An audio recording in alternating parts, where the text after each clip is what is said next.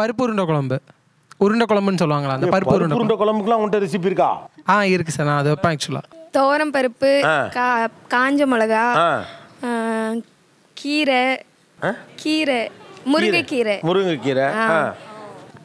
அதெல்லாம் வேக வச்சு வேக வச்சு? கடலை கடலை பருப்பு கொஞ்சம் போட்டு. கழுவி கழுவி காக்காய் கொஞ்சம் ஊத்து. அப்புறமா தாளிச்சிட்டு வெங்காயம் தக்காளி இதெல்லாம் போட்டு தாளிச்சு வேணும்னா புளி கூட கரைச்சி ஊற்றிக்கலாம் வேணாம் ம். அதுக்கப்புறம் உருண்டை அதில் போட்டு இது உருண்டை எதுக்குள்ள போடுறது? அந்த குழம்புக்குள்ள. வெங்காயம் தக்காளி எல்லாம் வதக்கணும்ல.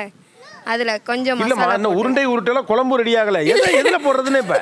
ஏன்னா நீங்க சொன்னதுல என்ன உருண்டை பிடிக்கல? குழம்பு ரெடி ஆகல.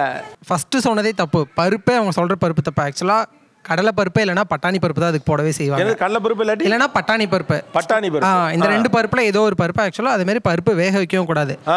பருப்பை ஊற வச்சு வச்சிருவாங்க ரெண்டு மூணு மணி நேரத்துக்கு முன் நான் ஃபோர் ஹவர்ஸ் கூட வச்சுக்கலாம். ஊற வச்சு அதை அரைச்சி தனியாக எடுத்துக்கணும்.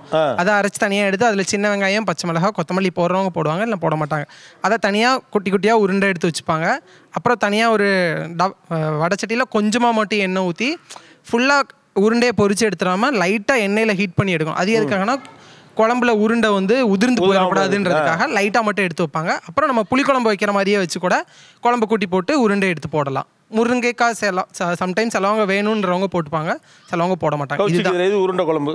ஆத்தென்டிக் அகைன் நீங்கள் வந்து பருப்புண்டை குழம்புன்னு சொல்கிறீங்கன்னா இந்த வகை வந்து is a very very correct way to do it. Okay நீங்கள் சொல்கிற வந்து உங்கள் வீட்டு சமையலில் வந்து பண்ணியிருக்கிற மாதிரி ஒரு பருப்புண்டை குழம்பு பட் ஜட்ஜி சார் கொஞ்சம் நியாயமா பேசுங்க. அவங்க என்ன ரெசிபி சொல்லிட்டாங்கன்னு நீங்க அவங்களுக்கு வந்து. அவங்க பேசுறீங்க. எனக்கு இப்ப. வந்து- உருண்டையும் பிடிக்கல குழம்பும் வைக்கல. என்கிட்ட சொல்றாங்க அந்த உருண்டையை தூக்கி குழம்புல போடுங்க மேடம் நீங்க ரெண்டுல ஏதாவது ஒன்று செஞ்சிருந்தா தானே மேடம் செய்யலாம்.